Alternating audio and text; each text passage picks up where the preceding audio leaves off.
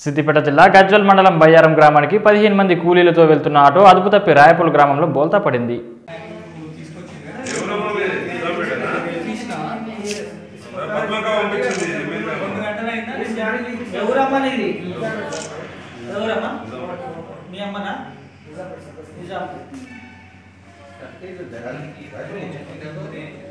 ఎట్లా పడ్డది ఏం జరిగింది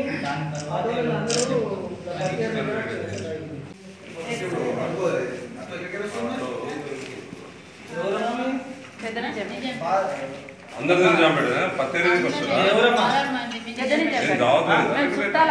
అదే పత్తేరు బాగా నిజాం పెడి మీది ఎవరమ్మా అందరు నిజాం పెట్టినా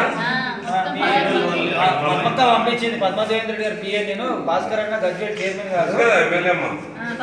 పద్మక్క పంపించింది. ఇప్పుడు మీకు ఏమైందా ఏం కావాలన్నా అని చూసుకోమని చెప్పింది.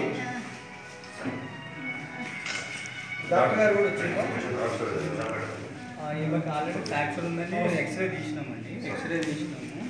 ఒక ఫ్రాక్చర్ ఉందని చెప్పిన. ఆల్రెడీ మనం ఇవ్వాల్సింది మనం అయిపోయింది. ట్రీట్మెంట్ కానీ అది ఎంపల్ డాక్టర్కి సంబంధించింది. మా ఇక్కడ మనం చేయాల్సింది మనం చేసినాము. నెక్స్ట్ ఫర్దర్గా చేయాల్సింది ఆర్థోపెడిక్స్ చూసుకోవాలి. అదే. ఈ patient-